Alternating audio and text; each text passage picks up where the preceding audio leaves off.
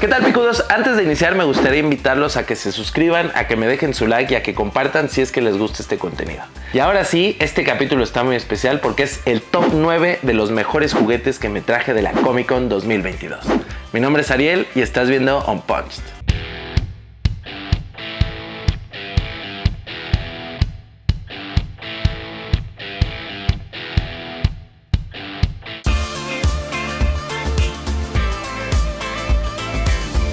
Y en el puesto número 9 tenemos uno de mis favoritos. Me refiero a un G.I. Joe de 1964. G.I. Joe, G.I. Joe, fighting man from head to toe, on the land, on the sea, in the air. G.I. Joe attack! Boom, boom! G.I. Joe takes the! Bam, bam! G.I. Joe en su primer presentación de 12 pulgadas fue creado por Hasbro en febrero de 1964 y fue considerada la primer figura de acción de la historia. Algo súper picudo es que esta figura la pude comprar directamente del dueño original. Él me contó que cuando era niño, su papá trajo dos de estas figuras a la casa y su mamá decidió que los dos hermanos jugarían con una y guardarían la otra. Y eso pues obviamente son buenas noticias porque esta figura no tiene rastros de juego alguno, no tiene raspones por ningún lado y venía completa tanto con calcomanías como con todos sus manuales de usuario.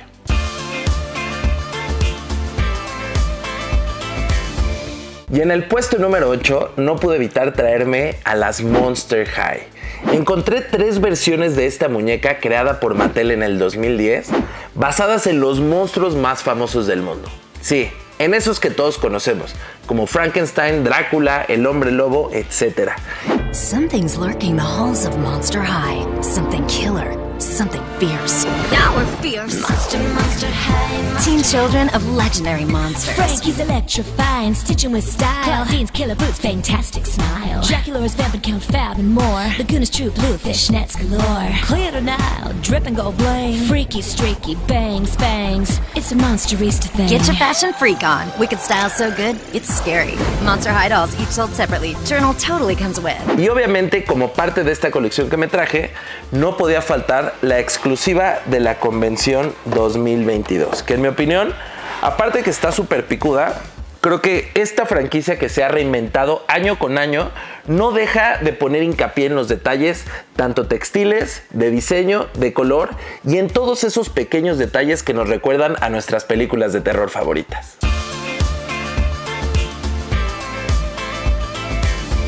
Y en el puesto número 7 tenemos a Joker y Catwoman. Estos personajes licenciados por DC y fabricados por Mego en 1972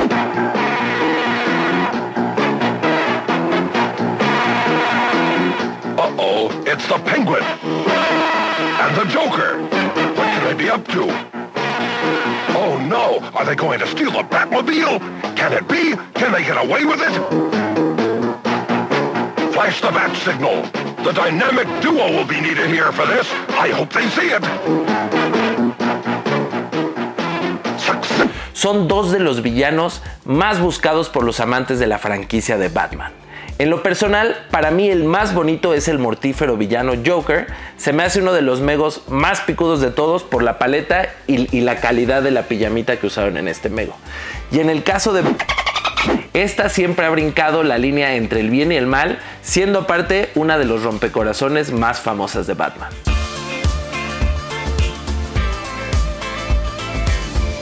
Y en el puesto número 6 tenemos a este Street Shark que no es muy caro pero es bastante raro. Me refiero al Strex de controlador.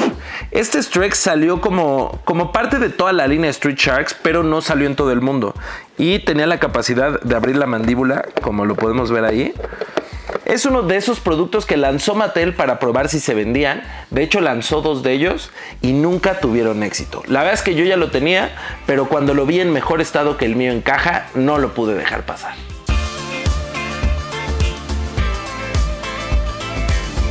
Y en el puesto número 5 tenemos probablemente el encuentro que más me gustó de toda la Comic Con. Me refiero a mi set de Shogun Warriors. Estos gigantescos robots de 24 pulgadas fueron fabricados por Poppy en la década de los 70 y licenciados por Mattel para traerlos al mercado americano.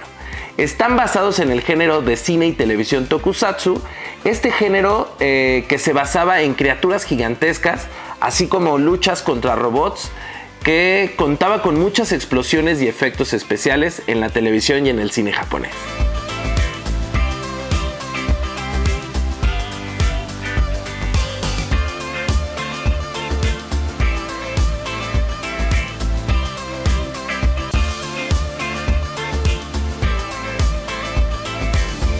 Y en el puesto número 4 traemos este Mego de Spider-Man de 1979. Spider-Man, each figure a foot tall and fully posable. All you need is a piece of string, and here comes Spider-Man.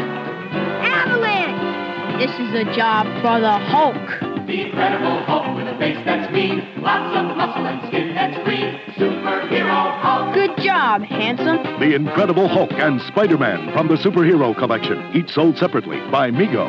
Creado por Stan Lee y Steve Ditko, este es uno de los personajes más famosos y más queridos por los amantes de los superhéroes y en esta ocasión traemos la variante del traje tipo 2 con la araña grande y las costuras en los brazos que reforzaban este traje para evitar cualquier rasgadura.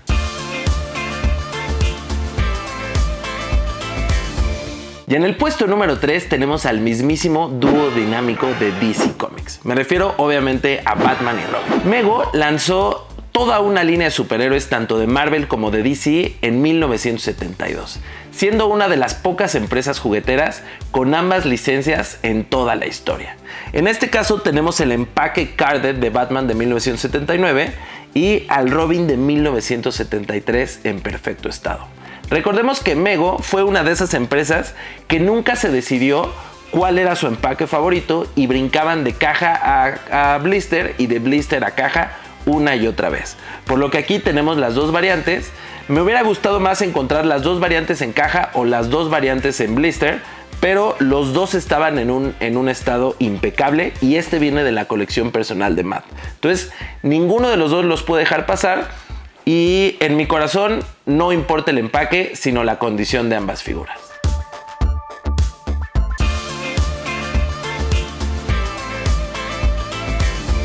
Y en el número 2 tenemos a este Jumbo Machinder de Mazinga o Massinger como se conoció en México y en Latinoamérica.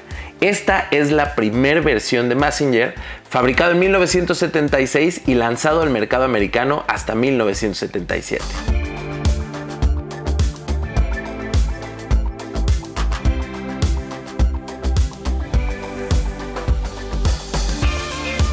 Pero no vayan a creer que es el mismo, ¿eh?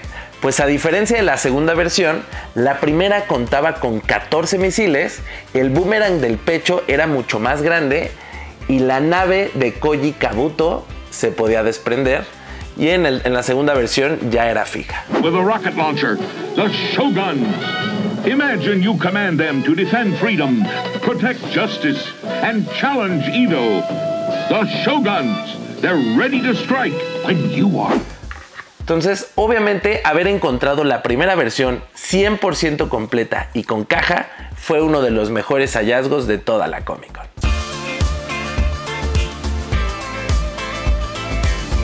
Y en primer lugar tenemos uno que me emociona mucho, pues no solo es el mejor hallazgo de la Comic Con, sino que es uno de los mejores hallazgos de toda mi colección. Me refiero a My Pet Monster creado por The Greeting Company Toys en Estados Unidos. Este juguete fue fabricado en 1986 y fue revolucionario pues era un muñeco de peluche creado exclusivamente para el mercado masculino.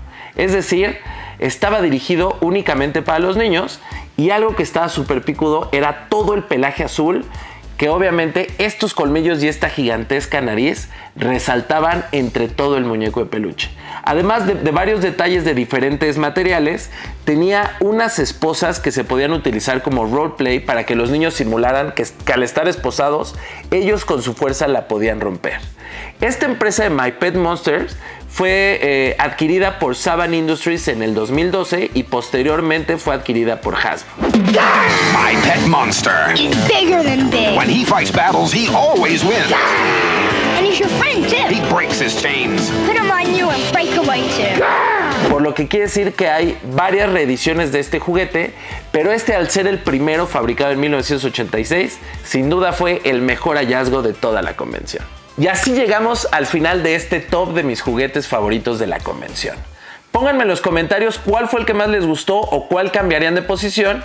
Mi nombre es Ariel y esto fue Unpunched.